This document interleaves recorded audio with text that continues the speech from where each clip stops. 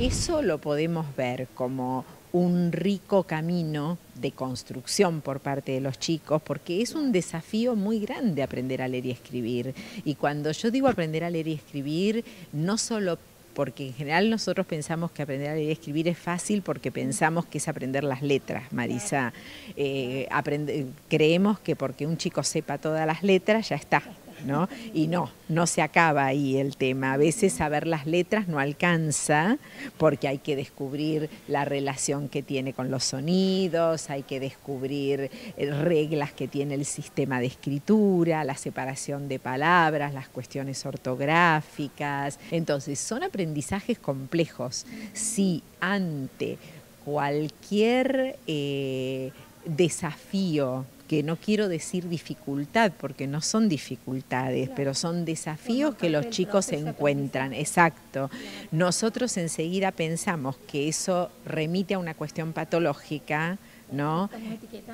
y sí, estamos, eh, esos procesos, hoy, hoy, hoy son crecientes esos procesos de patologización, ¿no? Cada vez más vemos patología donde en realidad no la hay. Yo creo que quienes te están viendo y que son papás o que de pronto, bueno, eh, como las personas que hoy tenemos detrás de cámara, que son terapeutas, que te han acompañado durante todo el día, y que quieren seguir creciendo y aprendiendo, ¿cuál sería el mensaje esperanzador para saber que también si nos empoderamos del conocimiento, es posible que esto no lo tomemos a la tremenda, sino que comprendamos desde, ya dejando la ignorancia de lado, eh, justamente desde el conocimiento, poder empoderarnos y decir, bueno, esto no es tan grave y, bueno, poder encontrarle entre todos, entre la educación, entre el terapeuta y los papás, el abordaje, ¿no? Yo creo que para los papás un mensaje que podemos dar es que los procesos de aprendizaje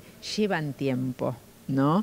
Y no en el caso de la escritura, entender que son aprendizajes complejos, que hay que descubrir muchas reglas del sistema de escritura, que cuando un chico lee, eh, cuando un chico ya sabe leer, no es que porque sepa leer puede leer cualquier tipo de texto, ¿no? Yo siempre digo, yo me considero lectora, tengo comprensión lectora, pero si a mí me dan un texto de física nuclear, yo no voy a entender nada.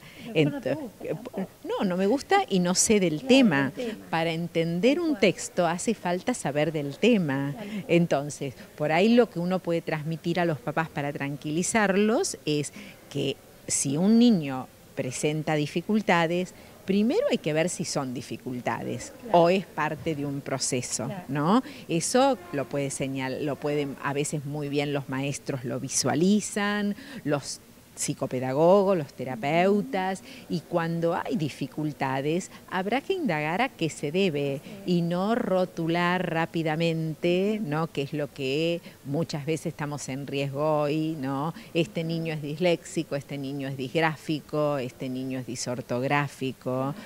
Yo creo que hay que tener mucho cuidado con los rótulos. Yo pertenezco a una institución que es el Fórum Infancias, que justamente todo el trabajo que estamos haciendo es en contra de los rótulos, de diagnósticos que en realidad estigmatizan, rotulan, pero no explican qué le pasa a un niño. ¿no? y nuevamente el agradecimiento a Viviana Presaco, a Sandra Salicio, nuevamente gracias, y a Oscarmen por esta oportunidad. Gracias a vos, eh, gracias a vos.